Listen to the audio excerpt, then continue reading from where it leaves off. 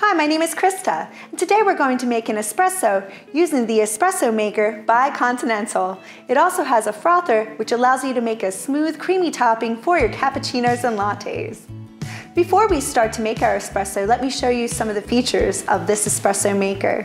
So as you can see on the side here, you have four different functions. You have your steamer, your release off, your pause, and of course your coffee maker. This glass carafe holds four servings of espresso. You have a nice scoop with the tamper, easy clean drip tray, and of course your funnel and your filter for your espresso.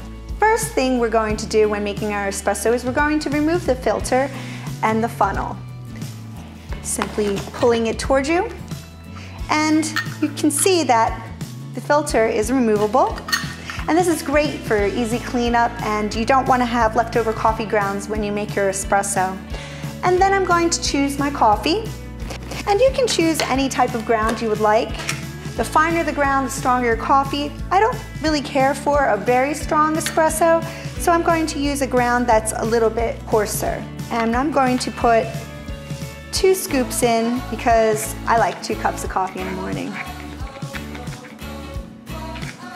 And you're going to use your tamper and press down and make what's called a puck.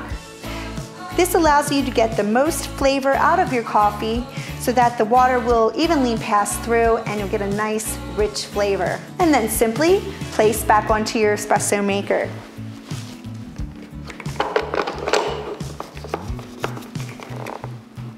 The next thing we're going to do is put some water in our glass carafe. Simply open your carafe and add some water. Now, because we're making an espresso with a milk topping, uh, you want to add some extra water. That way, when you make that steam, that water will steam up and go into your milk and froth it and make it nice and smooth and creamy.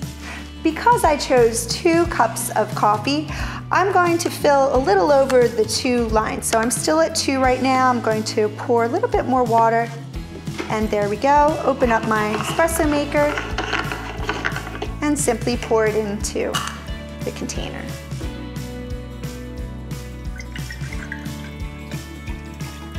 And then place that underneath my, then I'm going to turn my coffee maker on.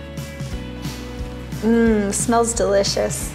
So I'm going to watch my espresso and because I want to, I'm going to then put it on pause and then I'm going to take my milk and put it over by the frother here.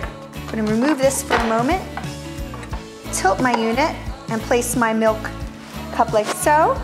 Then I'm going to turn it on to froth. Woo! And you can hear it and see it. And if you want it a little bit more foamy, you just simply remove it a little bit so that it makes nice bubbles.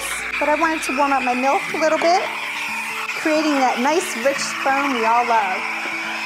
This espresso maker has four bars of power. So you really get a lot of power just like you would at a barista. And stop.